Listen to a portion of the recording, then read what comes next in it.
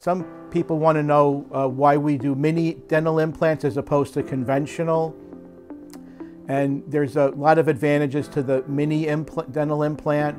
One of the advantages is um, you don't need as much bone in order to have it placed. With conventional implants, a lot of times the surgeons need to do bone grafting, which is a separate surgery. It needs to take 9 to 12 months to heal before the implant can be placed. A lot of times with mini implants, you don't need as much bone. We can place the implant right away and we can also restore them right away. Unlike a conventional implant where you have to wait six to nine months to actually restore the implant, with minis we're able to restore them within two to three weeks. That's a big advantage. They're also less costly. There's less post-operative uh, discomfort with the mini implants.